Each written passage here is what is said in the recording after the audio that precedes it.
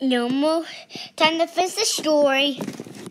What? Way! Because you have important business with Pua.